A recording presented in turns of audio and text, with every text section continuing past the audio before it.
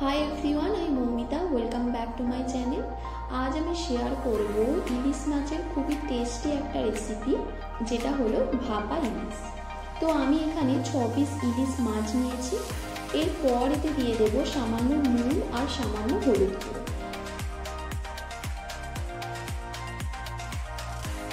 এবার এগুলো ভালো করে মাখিয়ে নিয়ে দশ মিনিট রেখে দেবো।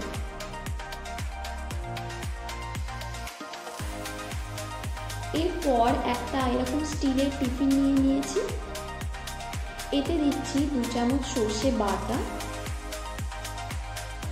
এরপর দিচ্ছি সামান্য হলুদ গুঁড়ো আর নুন। নুনটা তোমাদের টেস্ট অনুযায়ী দিও। এরপর দিয়ে দেব তিন চামচের মতো জল।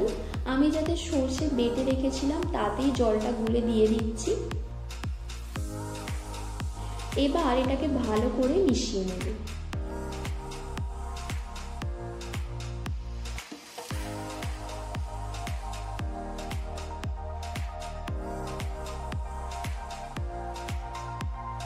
এরপর দিয়ে দেব ম্যারিনেট করে রাখা মাছগুলো।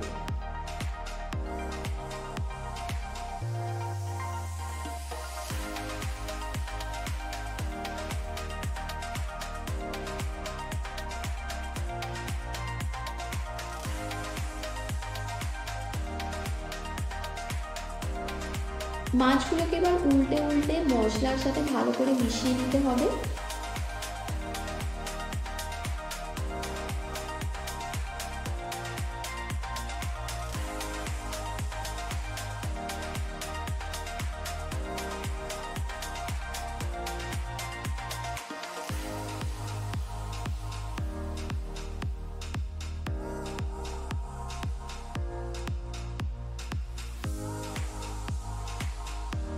এবার দিচ্ছি ছ থেকে আটটা কাঁচা লঙ্কা।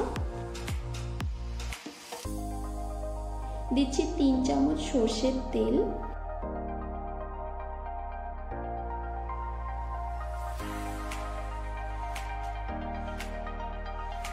এবার টিফিনটাকে ভালো করে ইটে দেব এরপর একটা কড়াই জল গরম করে নেব।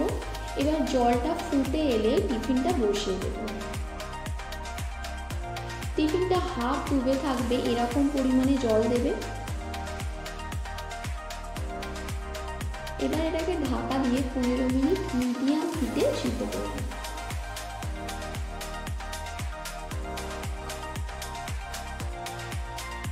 পনেরো মিনিট পর গ্যাসটা বন্ধ করে দেব।